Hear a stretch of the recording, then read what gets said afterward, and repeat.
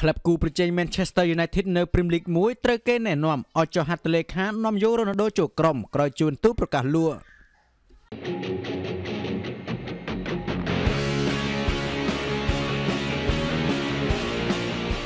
ក្លឹប Manchester City ត្រូវបានគេប្រាប់ឲ្យចុះហត្ថលេខាលើតារាឆ្នាំរបស់ក្រុមខ្សែបង្កង Juventus គឺកីឡាករ Cristiano Ronaldo ដើម្បីជំនួសតំណែងរបស់ខ្សែបម្រើ Sergio Aguero ជាក់ស្ដែងអាជីរ៉ូបានខកខានការប្រកួត4លើកចុងក្រោយរបស់ក្រុម Manchester City ដោយសារមានបញ្ហារបួសសរសៃពួរហើយវាមានន័យថាខ្សែប្រយុទ្ធអសង្តិនរូបនេះអាចចូលលេងបានត្រឹមតែ3ប្រកួតប៉ុណ្ណោះនៅក្នុងរដូវកាលនេះយ៉ាងណាមិញរបាយការណ៍ថ្មីថ្មីជាច្រើនបានឲ្យដឹងថាក្រុម Juventus កំពុងបើកចំហចំពោះលទ្ធភាពក្នុងការលក់ចេញកីឡាករ Ronaldo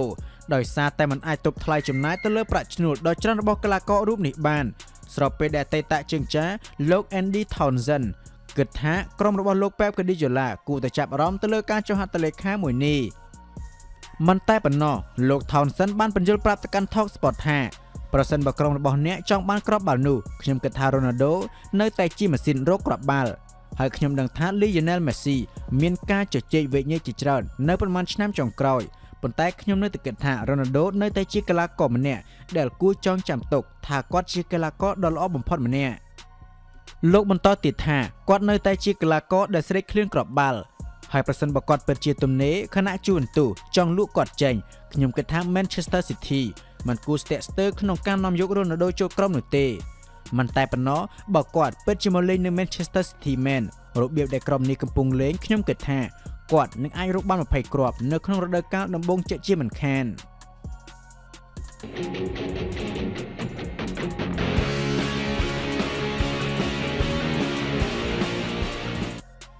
Reguilon និយាយថា Gareth Bale ជួយរឿងចាំបាច់មួយ ដែលខ្លួនពិបាកពេលមកដល់ Spurs Sergio Reguilon បានផ្ទេរចេញពីក្លឹប Real Madrid នៅតម្លៃខ្លួន30លានអឺរ៉ូមកចូលរួមជាមួយនឹង Tottenham Hotspur នៅពេលដំណើរគ្នាជាមួយនឹង Gareth Bale ប៉ុន្តែ Gareth Bale មកក្នុងលក្ខខណ្ឌខ្ចីជើងទន្ទឹមនឹងការមកដល់របស់ក្លឹបនៅប្រទេសអង់គ្លេសសម្រាប់កីឡាករអេស្ប៉ាញបានទទួលស្គាល់ថាខ្លួនពិបាកនឹងសម្របតាមនៅពេលដំបូងដំបូងជាពិសេសគឺការប្រើប្រាស់ភាសាខ្សែកាពីស្លាប់ឆ្វេងបាននិយាយប្រាប់ទៅកាន់កម្មវិធី El Chiringuito បែបនេះថាជាការពិតណាស់នៅទីនេះ Bell គាត់ហាក់ឆ្កក់ក្តៅជាង ហើយជាផ្នែកនៃការប្រើប្រាស់ភាសាក៏ស្ថិតនៅក្នុងចំណោមនោះដែរ លោកបន្ថែមថាគាត់អាចនិយាយជាមួយមិត្តរួមក្រុមបានទាំងអស់នៅទីនេះស្របពេលដែលនៅរៀលម៉ាឌ្រីតខ្ញុំគិតថាពេលខ្លះគាត់រៀងខ្លាចក្នុងការបង្កកំហុសលើការប្រើប្រាស់ភាសាគឺភាសាអេស្ប៉ាញនៅរៀលម៉ាឌ្រីតមិនមែនភាសាអង់គ្លេសទេបែបនេះការផ្លាស់ប្ដូរលើកនេះពិតជារឿងវិជ្ជមានសម្រាប់គាត់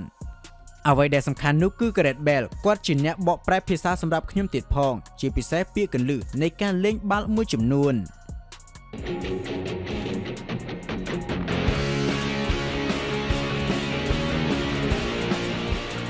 ក្លឹប5នៅ Premier League ចាយលុយឲ្យកីឡាករច្រើនបំផុត តែលេខ1មិនមែន Manchester City ត្បិតបាត់តម្លៃប្រព័ន្ធកីឡាកររួមនៅ Premier League ក្លឹប Manchester City និង Liverpool ឈរចំណាត់ថ្នាក់កំពូលក្តីប៉ុន្តែបើនិយាយដល់ទំហំថ្លៃពលកម្មដែលក្លឹបចំណាយក្នុងមួយឆ្នាំមួយឆ្នាំមិនមែនក្លឹបទាំងពីរខាងលើនេះឡើយផ្ទុយទៅវិញគឺជាក្លឹបដែលកំពុងឈរនៅចំណាត់ថ្នាក់ក្រៅតារាង Top 10នោះគឺ Manchester United ក្នុងចំណោមកីឡាករសំខាន់សំខាន់របស់ក្រុមបេសាយក្រហម Manchester United កីឡាករស៊ីថ្លៃពលកម្មខ្ពស់ដូចជា David De Gea ទទួលបាន375ពាន់ផោនក្នុងមួយសប្តាហ៍ស្របពេលដែល Paul Pogba ទទួលបាន290ពាន់ផោនក្នុងមួយសប្តាហ៍ចំពោះក្លឹបទាំង5នៅ Premier League ដែលចាយលើថ្លៃពលកម្មខ្ពស់បំផុតយើងធ្វើការបង្ហាញដូចតទៅទី5 Liverpool ចំណាយ93.8លានផោន ទី4 Arsenal ចំណាយ117.8លានផោនទី3 Manchester City ចំណាយ128.4លានផោនទី2 Chelsea ចំណាយ128.5លានផោនទី1 Manchester United ចំណាយ159.6លានផោន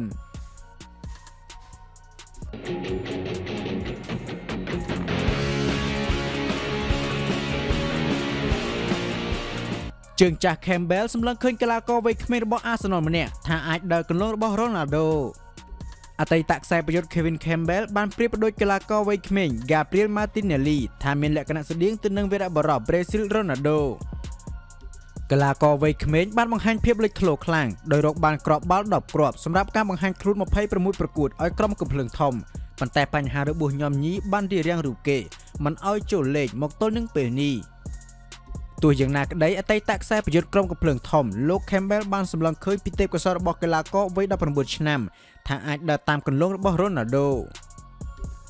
លោក Campbell បានថ្លែងប្រាប់ Football Insider ថា Martinelli គឺអស្ចារ្យនៅពេលដែលគេមកដល់ការពីរដូវកាលមុនគេគឺជាកីឡាករមានប្រយោជន៍ហើយខ្លាំងក្លាដែលធ្វើឲ្យខ្ញុំនឹកឃើញដល់ Ronaldo ប្រេស៊ីលរបៀបដែលគេទទួលបានបាល់គឺរត់តម្រង់ទៅទី គឺពិតជាអស្ចារ្យណាស់ ខ្ញុំមិនបាននិយាយថាគេគឺជា Ronaldo នោះទេប៉ុន្តែគេធ្វើឲ្យខ្ញុំនឹកឃើញដល់គាត់ ជាពិសេសជាមួយក្របបាល់ដែលគេរកបានទល់នឹង Chelsea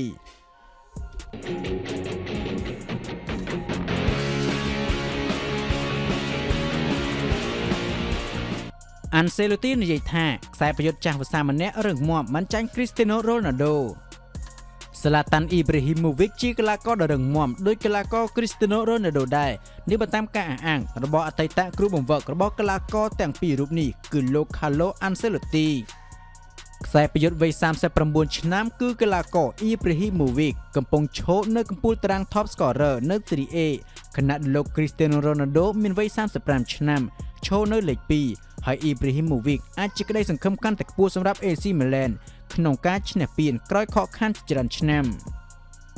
លោក Ancelotti ធ្លាប់គិតថាអាជីពរបស់ Ibrahimovic ត្រូវបញ្ចប់ នៅពេលដែលខ្សែប្រយុទ្ធ Suez រូបនេះបានផ្ទេរមកកាន់ក្លឹបអាមេរិក La Legacy កាលពីឆ្នាំ2018ប៉ុន្តែកីឡាករចាស់វស្សារូបនេះនៅតែបង្ហាញទម្រង់លេងល្អដោយរកបានគ្រាប់បាល់53គ្រាប់សម្រាប់ការបង្ហាញវត្តមាន58ប្រកួតនៅទីនេះលោក Ancelotti បានថ្លែងប្រាប់ Sport Media ថានៅពេលដែលលេងនៅអាមេរិកខ្ញុំគិតថាវាជាពេលចុងក្រោយផ្ទុយទៅវិញ គេអាចរកបានគ្រាប់បាល់បានជាច្រើនប្រកួតពេលនេះគេត្រឡប់មកអ៊ីតាលីវិញខ្ញុំគិតថា វាជាពេលបញ្ចប់ផងដែរប៉ុន្តែគេរកបានគ្រាប់បាល់រាល់អាទិនគេគឺរឹងមាំដោយ Cristiano Ronaldo ការបន្តលេងគឺងាយស្រួលទេប៉ុន្តែពួកគេមិនត្រឹមតែឈរលេងប៉ុណ្ណោះទេ ពួកគេតែងតែរកបានគ្រាប់បាល់ហើយវាមិនងាយស្រួលទេ